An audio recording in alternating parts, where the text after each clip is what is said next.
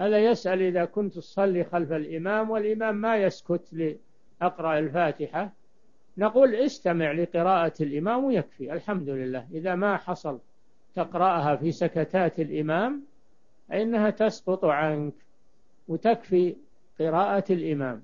تستمع لها. قال تعالى وإذا قرئ القرآن فاستمعوا له وأنصتوا لعلكم ترحمون. هذه الآية نزلت في الصلاة.